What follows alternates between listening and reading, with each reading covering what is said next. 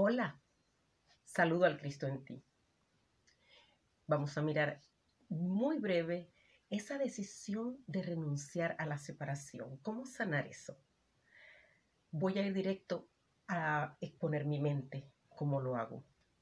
Yo miro algo fuera de mí, pienso que tú estás fuera de mí y digo, Padre, puedo ver aquí el Cristo, es lo único que quiero ver. Miro una situación, cualquiera que sea, si me pica, si es desagradable, Padre, detrás de esto puedo ver la luz. Jesús, guíame. ¿Qué digo? ¿Qué hago? Ayúdame, sé mi guía. Y si veo algo que me agrada, que me hace sentir feliz, digo simplemente gracias. Gratitud por haber permitido que las piezas de mi rompecabezas, esas piezas que tiré por doquier, puedan regresar se cumpla lo que Jesús llama expiación, marcado en el curso con E mayúscula, que es el regreso a la unidad.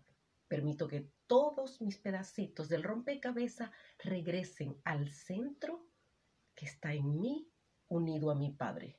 Y desde allí no tengo ni siquiera que renunciar a nada, porque la separación nunca existió. Es solo una creencia. Así que ni siquiera hay que renunciar a eso.